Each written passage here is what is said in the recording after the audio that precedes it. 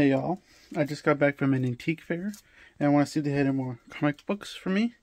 And I end up getting this one where Spider-Man fights the villain Spot. I just knew that Spot's going to be in the newest Into the Spider-Verse movie. So I got that. Also got What If Thor Battled Conan the Barbarian. I don't know who Conan the Barbarian is. And I also got a VHS of Power Rangers um, Lightspeed Rescue. I never seen Power Rangers Lightspeed Rescue, but I thought was, hey, Power Rangers on VHS, that might be pretty cool.